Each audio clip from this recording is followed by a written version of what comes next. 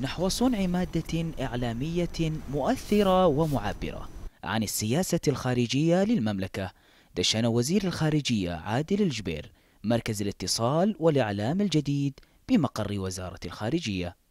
المركز استطاع خلال سنة ونص أن يصبح رقم اثنين على تويتر وهذا إنجاز كبير جدا وبإذن الله العمل مستمر يصبح رقم واحد. كما أنه على منصات أخرى في التواصل الاجتماعي وهم الأخوان آه، يعدوا الرسالة الإعلامية يلخصوا مثلا المواقف السياسية للمملكة اللي تعدها الوكالات الأخرى في الوزارة سواء كانت تتعلق بالأمم المتحدة أو الجامعة العربية أو تتعلق بعلاقات ثنائية أو تتعلق بالإرهاب أو تتعلق ب مواقف قيادة البلد وتصيغها بشكل مختصر وبشكل بشكل فعال وتبثها لجميع أنحاء العالم.